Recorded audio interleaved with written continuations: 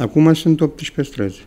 18 străzi, da. Și sunt destul de mari pentru că le-am ales pe alea mai, mai circulate, cu populație mai multă pe ele, adică în funcție de asta am ales și străzile. Nu în funcție de, eu știu, de rude, de priorități, că sunt eu sau secretarul, nu. Deci le-am făcut exact unde erau unde era populația mult mai multă. Sunt în jur de 8 km de asfaltat.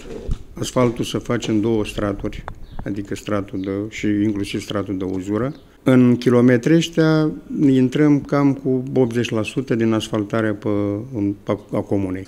Asfaltările sunt începute de la zero. S-a făcut pătura de, de piatră sau patul de piatră și următoarea, următoarea fază sunt bordurile și două straturi de, de asfaltare, cum, cum v-am mai zis.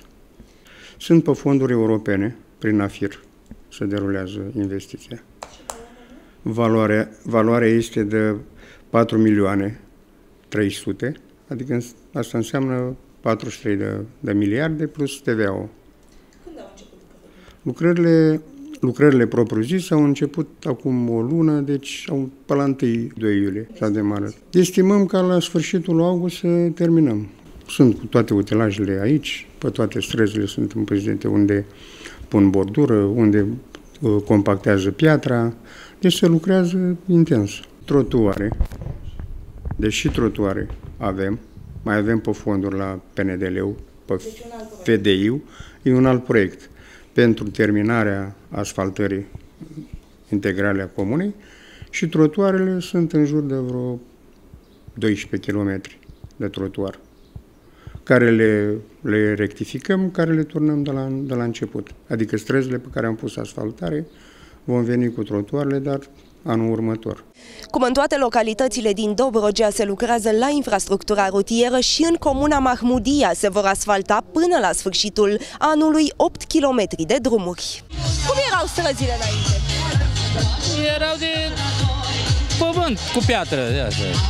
Fiindcă meniera a fost să mai pus piatră peste pământ, dar acum altceva. Se vede. Acest fapt va atrage turiștii? Da, da. Am înțeles că sunt lucrări pe în țară, pe în județ, unde nu vin constructori, nu... Eu n-am avut nicio problemă de genul ăsta. Deci, ba din contră, poate ei mi-au zis, hai de, demarează mai repede, eu știu, eliberează în strada cu tare, cu tare, că vin și cu canalizare. Pe unele din străzi fac canalizare și din urmă vin cu asfaltarea. Nu, sunt două proiecte distincte, da. Asta închidem. Canalizarea va avea tot, tot satul. În afară de câteva străzi pe care le-au asfaltat dinainte și nu aveau canalizare. Dar acum expiră perioada de 5 ani de monitorizare și o să băgăm și canalizare. Dar sunt puține locuințe, eu știu, 10-12 locuințe.